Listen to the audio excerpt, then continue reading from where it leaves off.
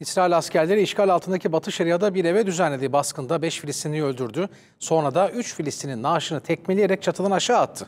O anı görüntüleyen gazetecilerin üzerine de ateş açıldı.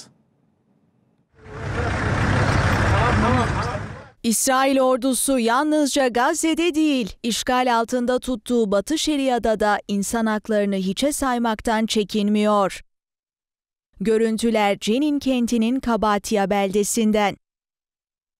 Baskın düzenleyen İsrail askerleri bir evi kuşatıp en az 5 Filistinliyi öldürdü. Sonrasında yaptıkları izleyenlerin kanını dondurdu. 3 Filistinlinin naaşını evin çatısından tekmeleyerek aşağı attılar. Sonra da naaşları buldozerle olay yerinden uzaklaştırdılar. O anları bir başka binadan kayıt altına alan gazetecilere ise ateş açtılar. Hamas yaşananları İsrail'in uluslararası toplumun sessizliği ve Amerika Birleşik Devletleri'nin siyasi ve askeri koruması altında gerçekleştirdiği suçlar zincirinin bir halkası olarak değerlendirdi. Uluslararası kurum ve kuruluşlara bu muameleyi kınama çağrısı yapıldı. Tepkilerin ardından İsrail ordusu açıklama yaptı. Olayın İsrail ordusunun değerleri ve askerlerden beklentileriyle örtüşmediği belirtildi, inceleme başlatıldığı duyuruldu.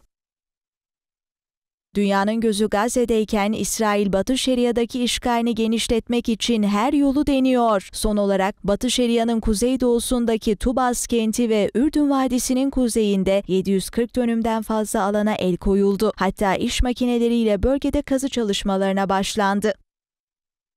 Bir yandan da yasa dışı Yahudi yerleşimcilerin şiddeti sürüyor. Filistinlilerin tarım ve hayvancılık yaparak gelir elde etmesine bile engel olmaya çalışan yerleşimciler koyunlara el koyuyor, tarlaları tahrip ediyor. Filistinlilerin evlerine ve araçlarına da saldırılar düzenleniyor.